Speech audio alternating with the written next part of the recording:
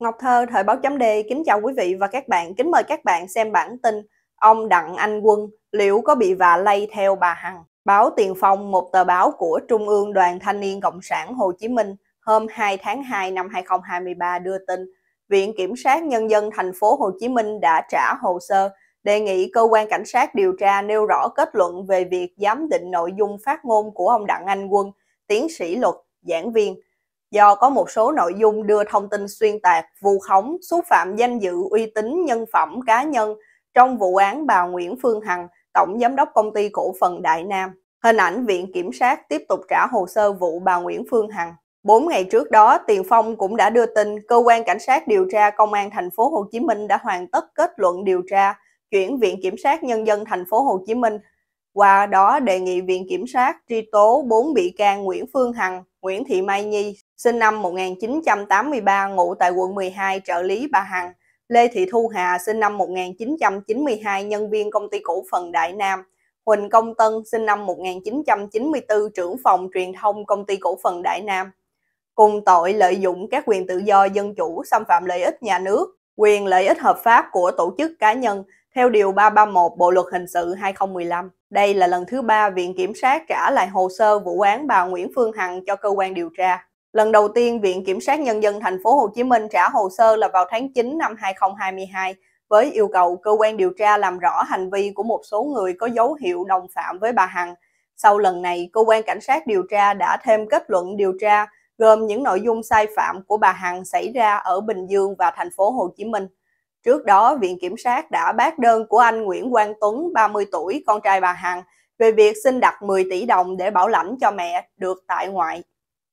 Hình ảnh trả hồ sơ lần đầu vào tháng 9 năm 2022. Lần trả hồ sơ thứ hai là vào tháng 11 năm 2022. Lần trả hồ sơ này, Viện Kiểm sát Nhân dân thành phố Hồ Chí Minh yêu cầu Công an thành phố Hồ Chí Minh tiếp tục làm rõ hành vi của một số người có dấu hiệu đồng phạm với bà Hằng trong việc tổ chức và tham gia các buổi livestream tại thành phố Hồ Chí Minh và Bình Dương. Trước đó, danh tính của những người này đã được xác định đó là Huỳnh Công Tân, Lê Thị Thu Hà và Nguyễn Thị Mai Nhi, đều là nhân viên của bà Hằng. Sau lần trả hồ sơ thứ hai, cơ quan cảnh sát điều tra công an thành phố Hồ Chí Minh đã khởi tố thêm 3 bị can Tân, Hà và Nhi với vai trò giúp sức. Ba người này bị khởi tố cùng tội danh với bà Hằng và tội danh của bà Hằng không thay đổi. Không biết với lần trả hồ sơ thứ ba này, ông Đặng Anh Quân có bị vạ lây với bà Hằng hay không? Bởi vì theo kết luận giám định của Sở Thông tin và Truyền thông thành phố Hồ Chí Minh, có những phát ngôn của ông Quân đã vi phạm điều cấm tại Điều 5, Nghị định 72-2013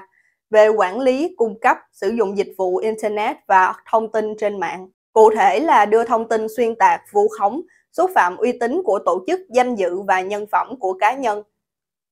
Hình ảnh trả hồ sơ lần thứ hai. Vụ án bà Nguyễn Phương Hằng đã bị cơ quan cảnh sát điều tra công an thành phố Hồ Chí Minh khởi tố vụ án, khởi tố bị can và thực hiện lệnh bắt bị can để tạm giam đối với bà Hằng vào ngày 24 tháng 3 năm 2022.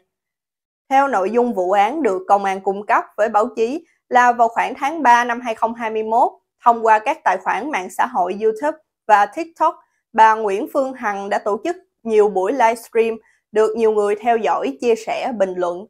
Tại các buổi livestream của mình, bà Hằng đã có nhiều bình luận một chiều sử dụng những ngôn từ mang tính chất nhục mạ, xúc phạm danh dự, nhân phẩm của nhiều người khác. Trong đó, bà Hằng có bình luận đến bí mật đời tư cá nhân của nhiều người gây ảnh hưởng uy tín, danh dự của nhiều nghệ sĩ, nhà báo. Điều 331 là một điều luật mơ hồ và vô lý trong Bộ luật hình sự 2015. Nếu bà Hằng vu khống nhục mạ xúc phạm danh dự nhân phẩm của người khác thì xử lý bà theo những điều khoản này chứ không phải điều 331. Quý vị và các bạn vừa theo dõi chương trình cập nhật tin tức của Ngọc Thơ thời báo chấm D với bản tin Ông Đặng Anh Quân liệu có bị vạ lây theo bà Hằng? Quý vị và các bạn hãy chia sẻ video này để nhiều người cùng biết, cũng như bấm nút đăng ký kênh youtube và facebook của thời báo chấm D để được cập nhật những bản tin mới nhất, nhanh nhất và trung thực nhất. Ngọc Thơ thời báo chấm D kính chào quý vị và các bạn, kính mời các bạn xem bản tin Tầm nhìn tương lai của đảng.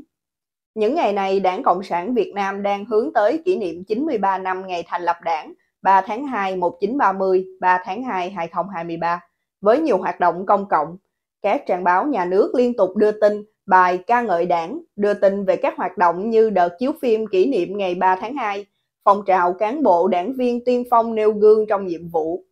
Các trang báo này cũng có cả những bài phân tích về thách thức đối với đảng hiện nay. Trên Vietnamnet ngày 1 tháng 2 2023, tiến sĩ ngành quản trị công Nguyễn Văn Đáng đề cập đến hai thách thức lớn nhất của đảng trong thời gian tới, đó là thu hút sự ủng hộ của dân và quản trị quốc gia tốt.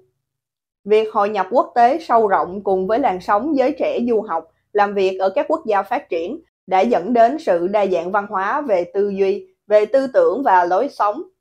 Phần đông lớp trẻ sinh ra và lớn lên sau chiến tranh đã không còn mối liên hệ với những thành quả cách mạng của thế hệ đi trước. Việc độc quyền lãnh đạo của đảng đã dần trở nên khó khăn hơn, nhiều trở lực hơn. Hình ảnh dàn lãnh đạo Việt Nam những vấn đề này hoàn toàn không mới nhưng Đảng Cộng sản không có giải pháp bởi vì cho đến nay Đảng Cộng sản Việt Nam vẫn không chấp nhận mô hình đa nguyên, dân chủ và nhân quyền kiểu phương Tây.